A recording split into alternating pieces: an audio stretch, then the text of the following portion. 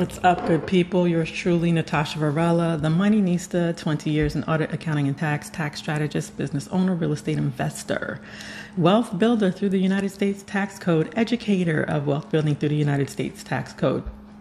And so, a lot of people ask me about a self directed IRA, right, when it comes to purchasing property, um, because there's a lot of benefits as far as um, avoiding tax, right, legally.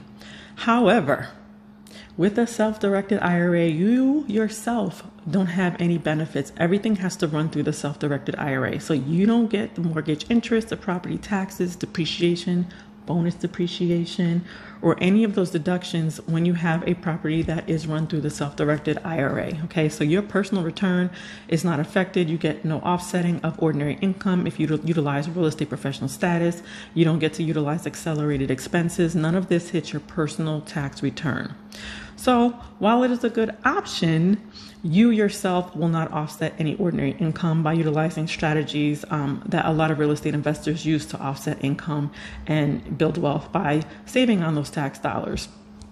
So any expenses, repairs, any of that stuff, all of those expenses, they run through the actual self-directed IRA. It is almost like a separate entity from yourself. Okay, so just a little tidbit on um, self-directed IRAs and owning real estate through self-directed IRAs.